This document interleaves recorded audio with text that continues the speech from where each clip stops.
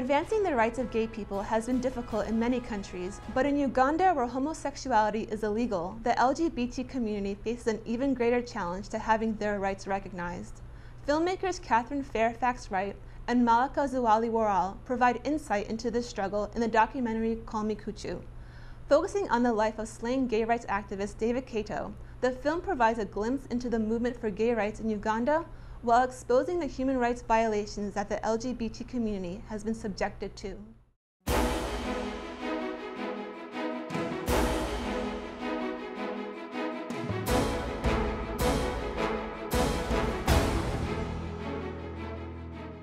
Katherine and Malika, thank you so much for joining us. Thanks for having us. Well, let me begin by asking you what you hope people will walk away with after watching the documentary.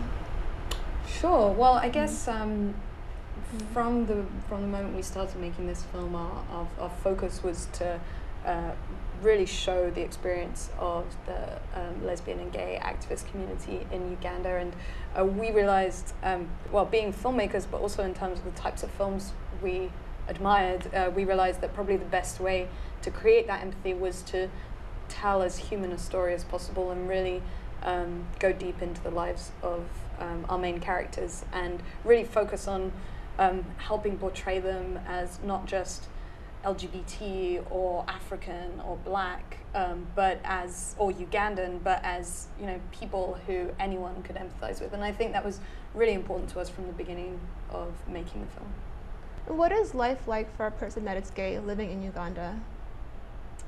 Um, I mean, I think it changes day to day depending on you know who's around and what the climate, the political climate is like, what has been published recently in the papers, things like that. Um, you know, so it's really the whole spectrum from very normal and they're just regular um, members of Ugandan society going to church and uh, you know hanging out with their families and working and stuff, and and then other times they're being thrown out of their homes and they're being kicked out of their jobs and um, you know, having stones thrown at them in the streets um, after they're recognized, you know, in the wake of, a, of the publication of, a, of their paper, of their mm-hmm. faces in the paper or something like that.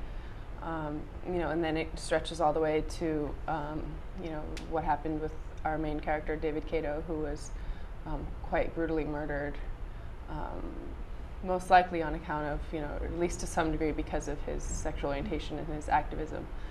Um, so it's really it's really depends on on the day and the circumstances. What do you think the biggest obstacle that the LGBT community faces in trying to advance their rights in Uganda?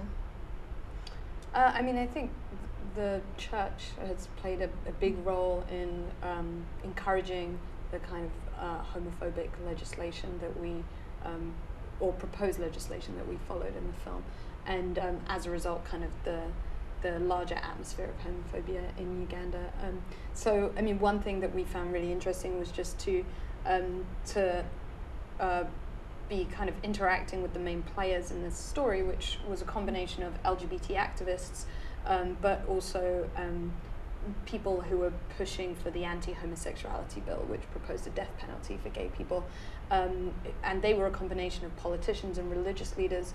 But ultimately, what was fascinating was that pretty much everyone we uh, we filmed with were pretty religious people. So the LGBT community were almost pretty much as religious and as Christian for the most part as the people pushing for their persecution, um, basically. So it was really um, interesting and kind of tragic to see that while on the one hand um, the Christianity was a source of um, of uh, kind of um, it, Christianity was something that encouraged the LGBT community and um, kind of gave them a faith in human beings in general. On the other hand, it was also something that was inspiring the persecution against them.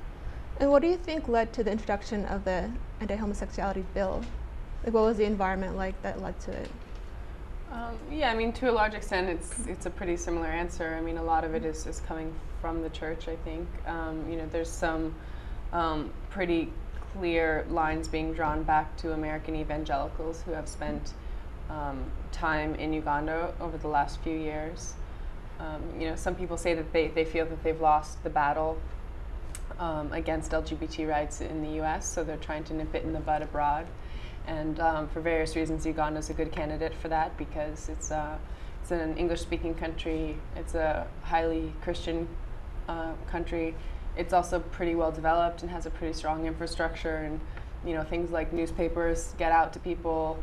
Um, so you know for all these various reasons, it's it's really susceptible to um, the the word of these pastors and, and the word coming from them right now happens to be um, you know very much one against the LGBT community and that's a very powerful mechanism.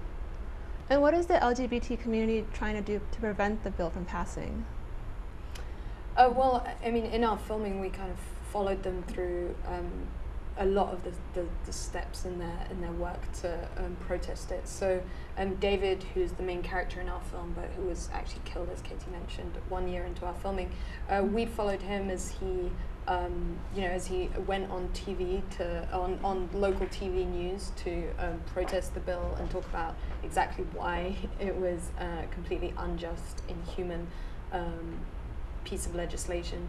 Um, and we also followed him as he uh, tried to work with the international community uh, with uh, uh donor country embassies like the US and European countries, as well as um, United Nations agencies such as the Office Office of the High Commissioner on Human Rights. Um, and, and then we also followed him as he um, took, uh, took legal action against a tabloid newspaper in Uganda called Rolling Stone, which has no relation to the Rolling Stone in the US. Um, but that newspaper had been outing members of the LGBT community and in some ways contributing to the fervor that uh, could have led to the anti homosexuality bill being passed. Um, and David and a couple of other activists actually decided to stop that from happening by taking this newspaper to court in Uganda. And how has the gay rights movement been Im- impacted by David's death?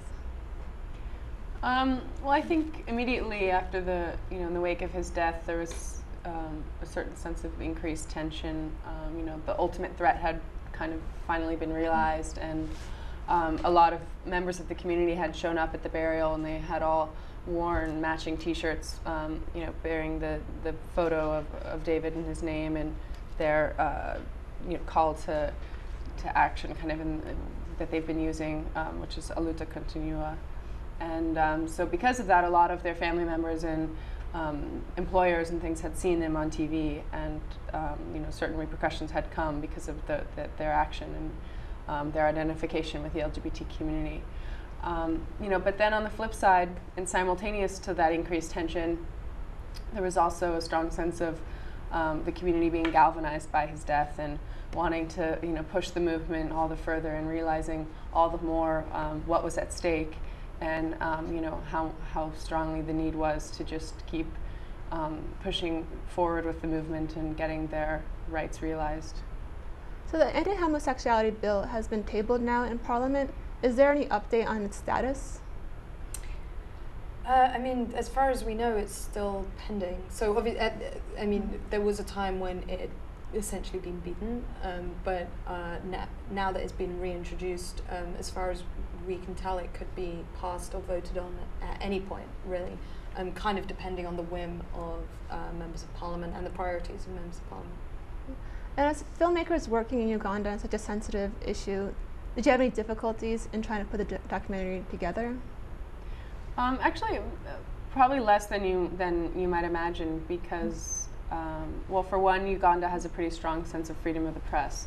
So um, as much as you have people like Giles, uh, you know, publishing the kind of articles that he writes, um, you know, which is viciously outing members of the gay community and advocating essentially uh, for their death.